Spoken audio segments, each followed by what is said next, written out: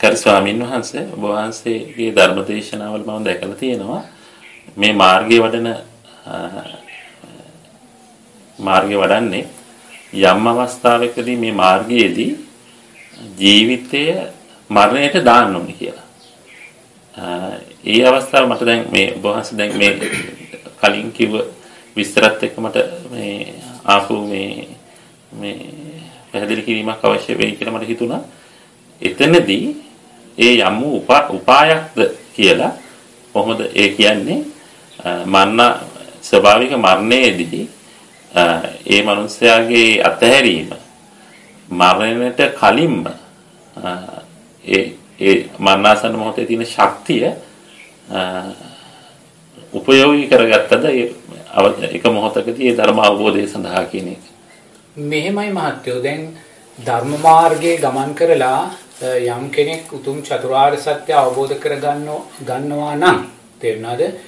ඒ උත්තමයා අනිවාර්යයෙන්ම ජීවිතේ මරණයට දාන්න ඕනේ.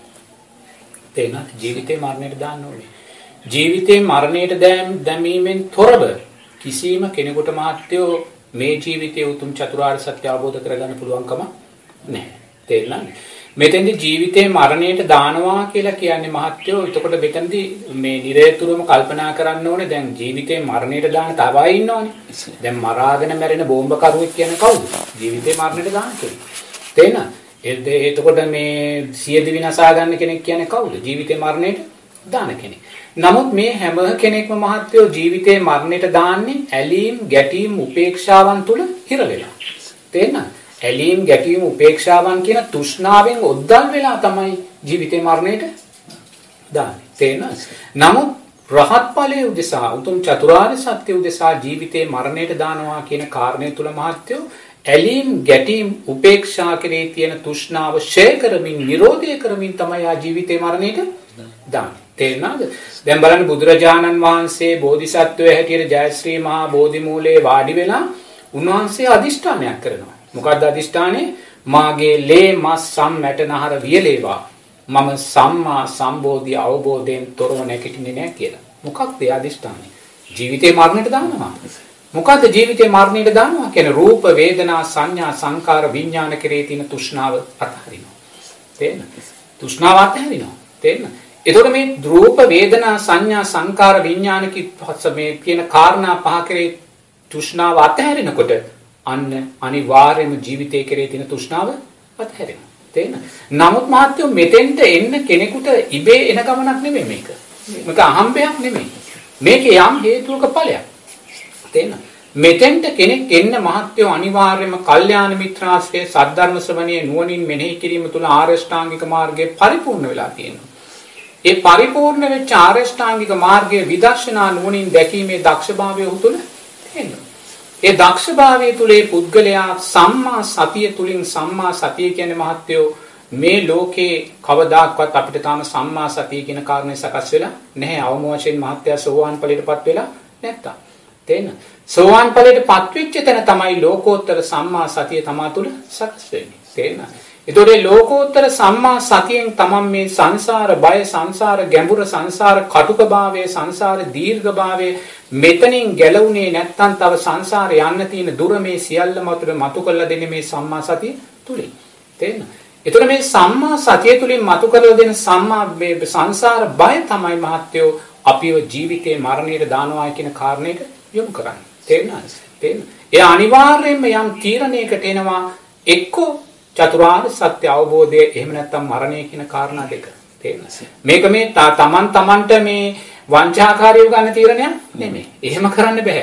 මොකද පංච උපාදානස්කන්ධය තුලයි තමා තුලයි පංච උපාදානස්කන්ධය සකස් වෙන්නේ. රූප වේදනා සංඥා සංකාර විඥාන කියන තමා තුල සකස් වෙන මේ පංච උපාදානස්කන්ධ ලෝකයක් සමගයි මේ තීරණය ගන්න. එනිසා ගන්න තීරණය 100ට 100ක් 100ට 100ක් අවංක වෙන්න එක දශමයක හෝ චේතනාවක් තිබ්බොත් නෑ මම ගැලවෙනවා කියන තැනක ඒ කියන්නේ තමා තමාට කවදාකවත් ජීවිතේ මරණයට දැම්මා කියන කාරණේ සාක්ෂාත් වෙන්නේ නැහැ. ඒ නිසා තමා තුල සකස් වෙන පංච උපාදානස්කන්ධයත් කර සමග කරන ගනුදෙනුවක් නිසා මෙතෙන්දී තමා තමාට අවංක වීම 100%ක් නියමාකාරයෙන් සිද්ධ වෙන්න. එතකොට තමා තමාට අවංකභාවය සකස් කරලා දෙන්නේ කවුද? තමන් මේ දැක්කා වූ කාමයන්ගේ નિසරුභාවයමයි. තේරෙනවද? තමන් මේ දැක්කා වූ සංසාර බයමයි. තේරෙනවද? ඒ සංසාර බය කාමයන්ගේ નિසරුභාවය කියන කාරණාමයි තවදුරටත් මේ පංච උපාදානස්කන්ධ ලෝකයේ කෙරෙහි තෘෂ්ණාවෙන් අපිව බැහැර කරලා මේ ලෝකෙන් මිදෙනවා කියන තැනටපත් වෙන තැනට පංච උපාදානස්කන්ධය කෙරෙහි තියෙන තෘෂ්ණාව අපෙන් අතහැරෙන්නේ. තේරෙනවද? එතකොට මේ පංච උපාදානස්කන්ධය කෙරෙහි තියෙන තෘෂ්ණාව අතහැරෙන තැන මහත්යෝ අපේ ජීවිතේට මරණයට දැම්මා කියන කාරණය තුල ඇලීම් ගැටීම් උපේක්ෂාවක් සකස් වෙන්නේ නැහැ. තේරෙනවද? ඇලීම් ගැටීම් උපේක්ෂාවක් සකස් වෙන්නේ නැහැ. එයා පස්සේ ළඟම අනිත්‍ය දකින්න තැන ඉන්නවා. තේරෙනවද? ඒ පස්සේ ළඟ අනිත්ම දකින තැනද ඇලීම් ගැටීම් උපේක්ෂාවක් සකස් වෙන්නේ නැහැ සකස් වෙන්නේ නැහැ කියන්නේ යා ඒ මොහොතේ ලෝකේ නිරෝධය කරන తాවකාලිකව තේරෙනවද මුලින් తాවකාලිකව ලෝකේ නිරෝධය කරලා තමයි අවබෝධාත්මක නිරෝධය සාක්ෂාත් කරගන්නේ තේරෙනවද ඒ නිසා ජීවිතේට මරණයට දානවායි කියන කාරණේ චතුරාර්ය සත්‍ය අවබෝධය උදෙසා අහම්බෙන් සිද්ධ වෙන දෙයක් නෙමෙයි මහත්යා මේ මොහොතේ හිතුවොත් මං චතුරාර්ය සත්‍ය උදෙසා ජීවිතේ මරණයට දානවා මේ මොහොතේ කියලා ඒක කවදාකවත් සිද්ධ වෙන්නේ නැහැ තේරෙනවද? ඒ කවදාකවත් සිද්ධ වෙන්නේ ඊට අදාළ ಗುಣධර්මයන් පූර්ණ කරලා තිබ්බ තැනයි අපිට ඒ චිත්තය සකස් වෙන්නේ. තේරෙනවද? ඒ නිසා අනිවාර්යයෙන්ම ජීවිතේ මරණයට දානවා කියන කාරණේ හිතාගෙන මේ ධර්ම මාර්ගේ යන්න එපා. තේරෙනවද? එහෙම යන්න එපා. ඒක කවදාකවත් සිද්ධ වෙන්නේ නැති දෙයක්. තේරෙනවද? ඒ නිසා ජීවිතේ මරණයට දානවායි කියන තැන ධර්ම මාර්ගයේ තුලින්මයි Tamanට මතු කළ දෙන්නේ. තේරෙනවද? ඒක මට තව මාසෙකින් දෙකකින් අවුරුද්දකින් අවුරුදු 10කින් මගේ ජීවිතේ මරණවත් මරණයට දානවායි කියන කාරණේ අපිට සකස් කරගන්න බැහැ. ඊළඟ නිමේෂයේදී මම මගේ ජීවිතේ මරණයට දානවා කියන කාරණේ සකස් කරගන්න බැහැ. තේරෙනවද? එහෙම අපි සකස් කරගත්තොත් ඒ සකස් කිරීම තුලත් ඇලීම් ගැටීම් උපේක්ෂාවන් බැසගෙන තියෙනවා. තේරෙනවද? ඒ නිසා මේ ජීවිතේ මරණයට දානවා කියන කාරණේ මහත්වෝ මේ ධර්ම මාර්ගයේ ඵලයක්. හේතුන් නිසා සකස් වෙන්නා වූ ඵලයක්. ඒ හේතුව තමයි ලෝකෝත්තර ආරෂ්ඨාංගික මාර්ගයේ පරිපූර්ණ භාවය. තේරුණාද? ඒ පරිපූර්ණ භාවය තුලින් යා උතුම් සෝවාන් ඵලයේ සකෘදාගාමි අනාගාමි ඵලයන් සාක්ෂාත් කරගෙන පංච උපාදානස්කන්ධයේ අනිත්‍යභාවය දැකපු කෙනෙක්, සීලය ආර සීලයක් කරගත්ත කෙනෙක්, සද්ධාව අචල සද්ධාවක් කරගත්ත කෙනෙක් මේ සියල්ලේගම ඵලය තුලින් තමයි අවසාන මෙහෙයුමේදී පංච උපාදානස්කන්ධය කෙරෙහි තියෙන තෘෂ්ණාව අතහරිනවා කියන්නේ ජීවිතේ මරණයට දාන. ඒතර පංච උපාදානස්කන්ධය කෙරේ තියෙන තෘෂ්ණාව අතහැරිච්ච තැන ඒ කියන්නේ ජීවිතය කෙරේ තියෙන තෘෂ්ණාවක් නැතුව යනවා. ජීවිතය කෙරේ තියෙන තෘෂ්ණාව අතහැරුණා කියන්නේ මහත්යෝ පංච උපාදානස්කන්ධය කෙරේ තියෙන තෘෂ්ණාව අතහැරුණායි කියන කාරණේ. එතන තමයි චතුරාර්ය සත්‍ය අවබෝධය කියන්නේ. නමුත් එතෙන්ට කවදාක්වත් අපිට මේ මේ සැලස්මක් අඳලා එහෙම නැත්නම් කාලයක් වෙන් කරලා මෙදා යනවා කියන කාරණයක් කවදාකවත් හේතු සාධක ඇතු කියන්නේ බැහැ මොකද එය තමා තුළ වැඩෙන්නා වූ ධර්ම මාර්ගයේ සත්‍තිස් බෝධිපාක්ෂික ධර්මයන්ගේ ස්වභාවය මත තමා තුලින් තමා තුළ සකස් වෙන්නා වූ ස්වයං තීරණයක් එක. තේරෙනවද? ඒ තීරණය අපි බලහත්කාරයෙන් ගන්න ගියොත් ඒ බලහත්කාරයෙන් ගන්න මොහොතක් පාසා අපි ජීවිතේ මරණයට දාන මොහොතේ එක්ක ඇලීමක් එක්ක ගැටීමක් එක්ක උපේක්ෂාවක් අපි අල්ල ගන්නවා මයි. තේරෙනවද? අපි කොච්චර කැමැත්තෙන් ජීවිතේ මරණයට දානවා කියලා හිතුවත් අවසාන මැරෙන මොහොතේ අපි මේ ඇලීම් ගැටීම් උපේක්ෂා කියන කොතන හරි මේ තුනෙන් එහෙ කෙල්ලෙනවා. තේරෙනවද? සෙල්ලෙන මොකද ඊට අදාළ පරිපූර්ණ දේ පරිපූර්ණ කරලා නැහැ.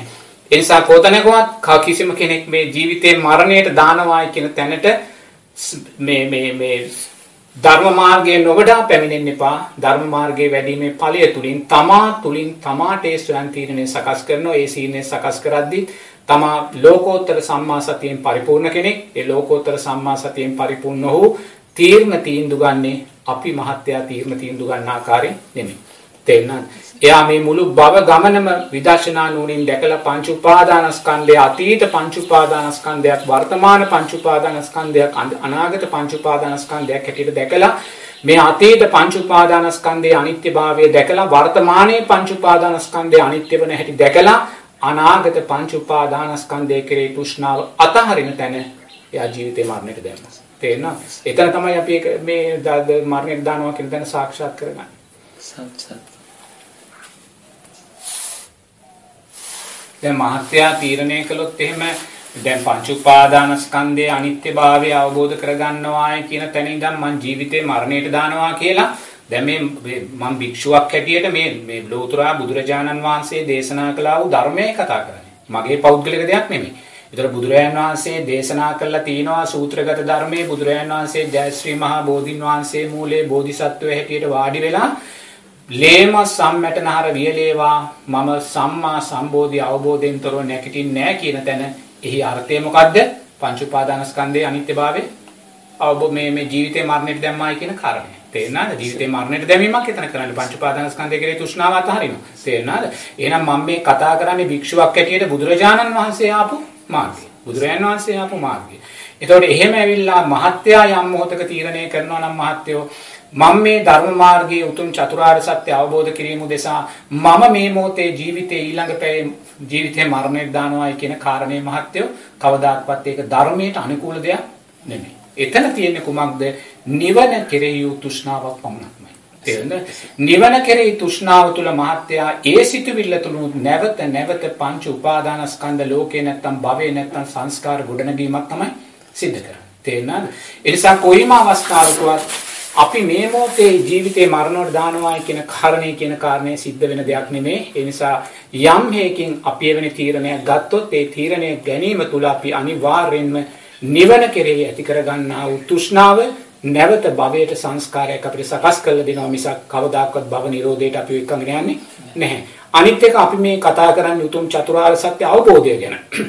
චතුරාර්ය සත්‍ය දැකීම ගැන නෙමෙයි. සෝවාන් ඵලයේ, සකෘදාගාමි ඵලයේ, අනාගාමි ඵලයේ නෙමෙයි. එහෙනම් අපි චතුරාර්ය සත්‍ය අවබෝධය කියන තැන ගැන කතා කරද්දී අපි මේ සෝවාන්, සකෘදාගාමි, අනාගාමි කියන තැන් පසු කරලා අපි එතෙන්ට යන්නේ. තේරෙනවද? එතකොට යම් කෙනෙක් තුල ජීවිතේ මරණයට දැම්මායි කියන කාරණය සකස් වෙන්නේ නම් මේ මාර්ගය තුල සෝවාන් සකෘදාගාමි අනාගාමි කියන ඵලයන් යා සාක්ෂාත් කරගත්ත කෙනෙක් වෙනවා.